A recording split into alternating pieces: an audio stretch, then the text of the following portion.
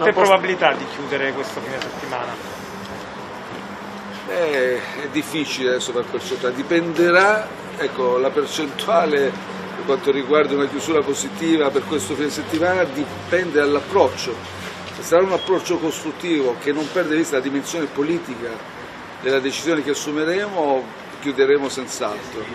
Se invece qualcuno dovesse perdere vista questa dimensione politica, dovesse metterla giù come una partita contabile, quindi immiserendola completamente, allora sicuramente avremo bisogno ancora di lavorare. Presidente, la posta in gioco? La posta in gioco è l'Europa, non è una pronta ripresa per l'Italia soltanto, per la Spagna, il Portogallo, la Francia e gli altri paesi, è una pronta ripresa per l'Europa. La posta in gioco è la leadership europea, la competitività dell'Unione Europea nel mondo globale se noi pensiamo che stiamo a discutere di eh, qualche miliardo in più o in meno, di qualche condizionalità in più o in meno, chiaramente perderemo la sfida della competizione con la Cina, con gli Stati Uniti, col mondo globale.